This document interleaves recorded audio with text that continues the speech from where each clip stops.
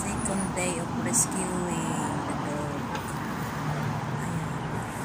Binisita ulit ng asawa ko kasi wala pa naman daw kumukuha kasi nadaanan na naman niya kanina umaga. Kaya yan. Tinala niya ulit ng food. Hindi na siya nakapaghintay na ano, ilagay sa plato niya ng pagkain. Kawawa. Pero okay na siya. Kasi sumiglaan na raw. Hindi na raw siya palaging nakahiga. Ayan. Nakikita niyo naman. Siguro may amo to. Pa al- alam niya siguro kung saan ang bahay nito. Kasi yung aso malinis yung aso. Hindi siya yung ano. Parang hindi siya asong galaba. Kasi nakikita sa itsura yung aso. Taga-alaga talaga nito. Binidyohan pa talaga ang mukha ng asawa ko. Sarili niya.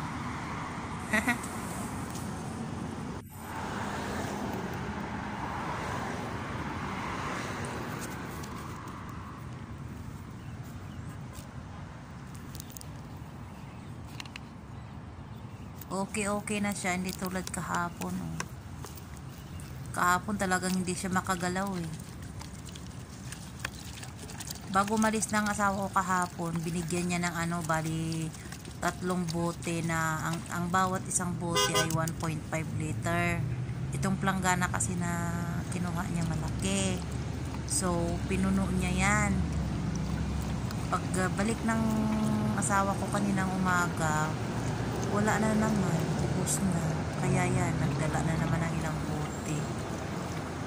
Tapos, tinabunan niya yata ng tubig. Pinaliguan ng konti yata ng tubig.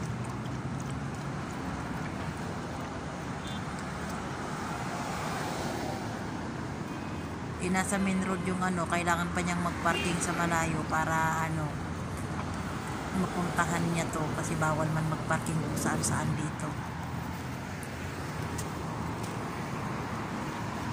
Ayan, alam mo, gutom na gutom siya. Hindi niya, ano, hindi niya mahintay na mailagay sa plato niya yung, ano, paper plate yung pagkain niya.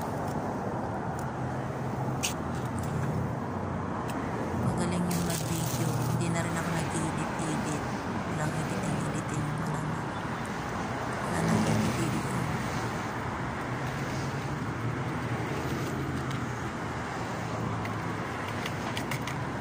Ayan. Halatang gutom na gutom siya talaga. Ayaw din niyang umalis dyan sa may ano, sa may dahon na yan. Tingnan, tingnan nyo guys kung paano siya kumain ng hotdog. Yung dog, mga dog food ba yan?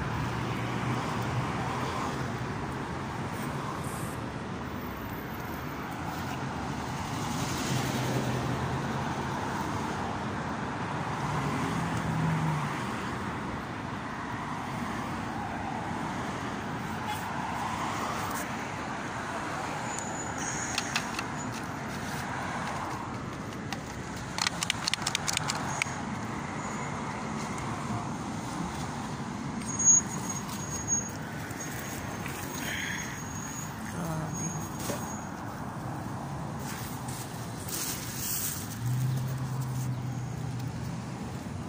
Nagutom siya talaga.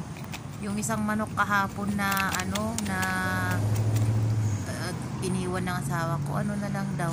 Pagbalik niya kanina ubos. Kunti na lang daw ang natitira. Ayan. Nakalipat na siya ng pwesto ng konti. Nakaano na siya doon. Nakapunta na siya doon.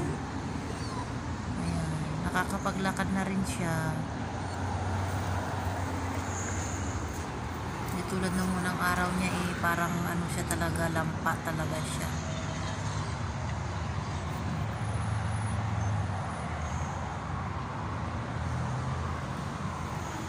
Hmm. Okay na. Nakakalakad na siya. Ayan. Sinusundan nga niya si ano eh, si, mata, si matanda ko. Sinusundan niya na. Sabi ni matanda pagkalis daw niya eh, nasaktan daw siya kasi parang nag-iyak-iyak daw yung aso nung umalis na siya. Ay, nako, nagpupo. Pasensya na po kung sino pong mga kumakain dyan. Hindi po sinasadya yung aso. Hindi po ako.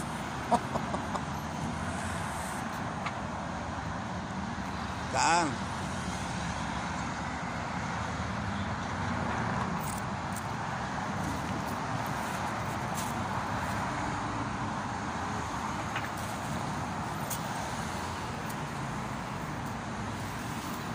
Grabe, oh, ayan, ayan. Sana bukas, sana nga bukas makuha na nila kasi kawawa naman yung aso. Sabi ng asawa ko kanina baka ano, mayroong taga-alaga siya talaga, taga-alaga kasi ano siya, malinis siya. Malinis daw yung aso. Pero yan nga siguro na aksidente siguro. Na hit and run. Kaya ganyan.